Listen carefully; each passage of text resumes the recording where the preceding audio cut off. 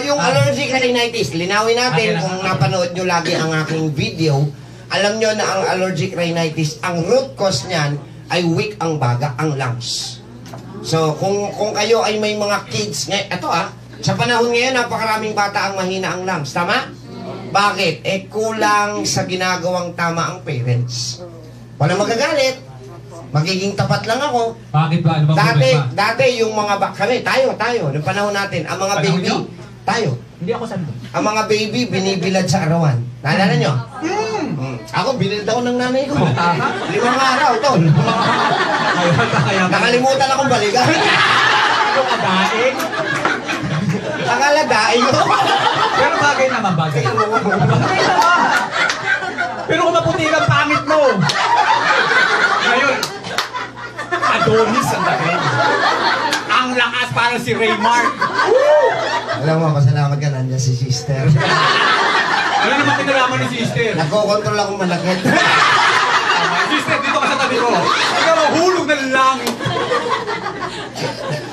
Hindi, bakit binibilad ang mga babies nung araw? Alam naman natin, pampatibay ng resistensya, pampalakas ng buto, pampalakas ng baga. Tama? Pero that was before. Ngayon, yung mga anak nyo at apo nyo, sagutin mo ko yung totoo. Bakit yung anak at apo nyo ngayon, tanghali na po, tulog pa sa loob ng kwartong diyan ko? So you are killing your own kids, guys. Binili ng aircon eh. Oh, pangalawa. Pangalawa, wag mong wag mong abugaduhan muna. pangalawa, kami tayo naglalaro tayo sa kalsada. Nangapaglaro tayo ng patintero. Tumbang preso, agawang base, tago-taguan, chato. Chato. Chato? Ano? Chato? Chato. Jo? Eh, Totoo, di ba? Oo. O ngayon, yung anak at apo nyo, sa loob ng kwartong de aircon, radiation ng cellphone ng katawan. Si, tapos tatanungin nyo, bakit may hina resistensya nila? Hmm, nanonood ka ba? Sila, sila, sila. Sa paano natin na palalakasin, paano matatanggal ang allergic rhinitis?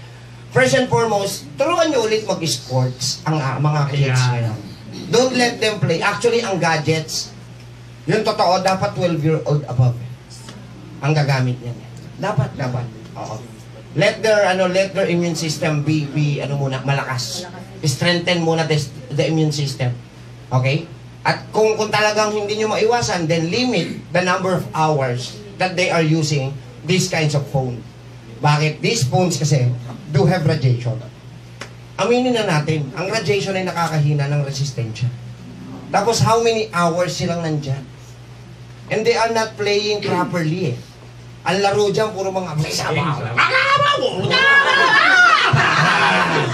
Di ba mukhang autistic na? Sarili na nila.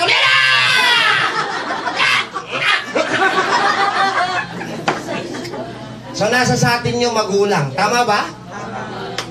Ayun. So, isa yon. Pangalawa, ah ah, kung meron matututo mag-sports, mag-sports para lumakas yung baga, ang anong pinakamagandang sports? Nagtanong sa akin. Sungka. Kayo ko na tanungin to. any, any kinds of sport na gusto niyang gawin. Ha? Turuan niya.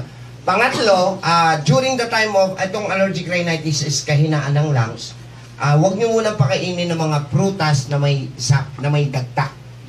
Ah, katulad ng mangga, santol, chico, lansones, kaimito, langka, bawal muna. Bawal po, bawal. Kasi yung dagta ay nakakalapot lalo, nagpo-produce yun ng allergens na nagpapalapot lalo ng plema.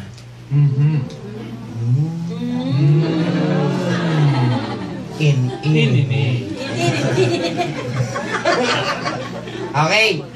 Ah, pero wag kayong mag-ala, eh, ano, ano na lang prutas pakakain ko? Ang dami-dami pong fruits na walang dagta. Kasi example, grapes, strawberry, Yeah.